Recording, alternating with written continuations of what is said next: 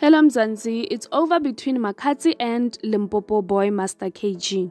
The Limpopo boy real name is Matume Robert Toka. Him and Makhadzi they don't see eye to eye recently. A reliable source told Zimoja that they were planning their overseas trip two months ago. The Limpopo boy thought that he was bigger than Makhadzi. He wanted Makhadzi to treat him as if he was special than other artists. While Makhadzi was touring overseas, the Limpopo boy was busy traveling for a dance competition. This did not sit well with Makhadzi because she wanted to travel with him overseas. What is painful is that they have replaced him with other dancers who are doing well too. I doubt Makhadzi misses him as she has a new team of dancers. It's the end of the road for Makhadzi and the Limpopo boy, Master KG.